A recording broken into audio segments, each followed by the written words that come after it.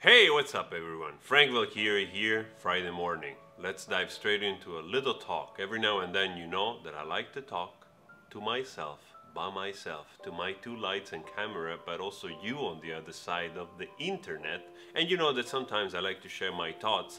A few days ago I did a video about uh, Am I Too Old to Dream? And it was just a, a talk about whether or not you should stop pursuing your objectives in life. And of course, I just want to make sure that you understand I am not giving up. I'm trusting my abilities and capabilities and you move forward. I also know that everybody has a different story, so I have accepted that in life. But that's not a reason not to keep going.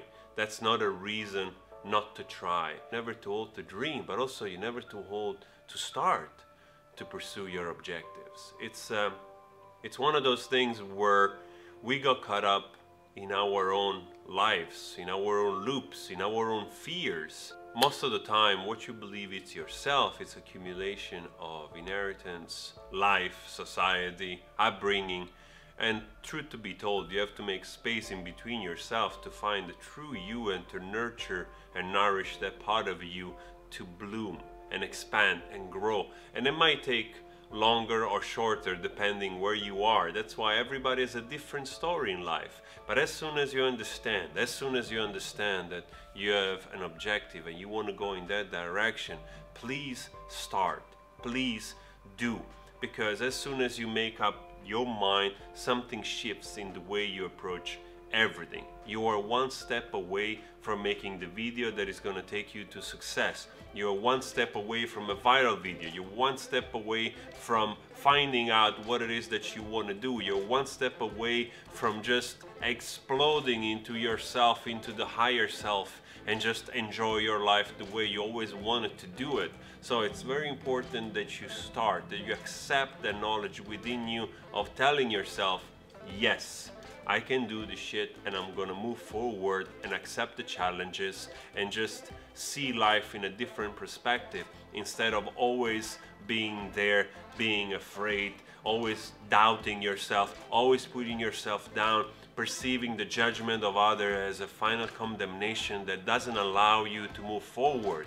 No, just believe in yourself and when you make that step, it's like training the body. We also creature of habits. The more you believe in your weaknesses, the more you indulge and you will develop that part of yourself.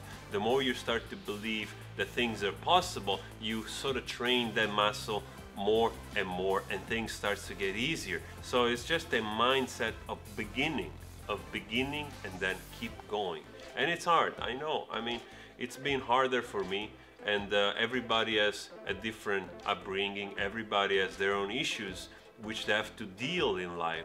Uh, that's uh, something that we all have to do, but there is so much that is in our hands, so much that we can always change. At whatever stage of our lives of making decisions, taking choices, it's always in your hands. And that's what we can do, that's what we should do. Move forward always with the beliefs the trust in yourself, it's always gonna take you where you want to go. So just a little talk today about those things, that those are the mantras that I tell myself every other day. Also the day where you don't feel as good as others, that you have to keep going. Despite where you've been, despite your past, leave your past behind. There is nothing else in the past for you. Everything is right here and in the future. Take the knowledge of the past, carry it with you, and move forward. That's it. Always spread love.